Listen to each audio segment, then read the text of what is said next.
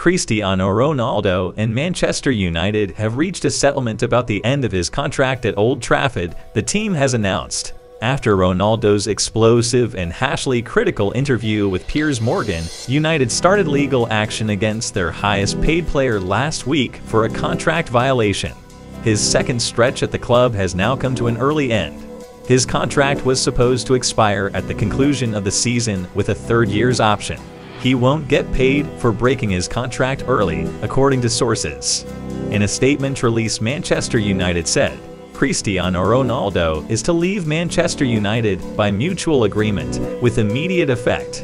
The club thanks him for his immense contribution across two spells at Old Trafford, scoring 145 goals in 346 appearances, and wishes him and his family well for the future. Ronaldo also released a statement, adding, Following conversations with Manchester United, we have mutually agreed to end our contract early.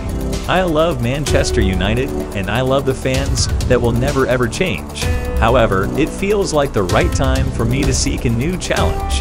I wish the team every success for the remainder of the season and for the future.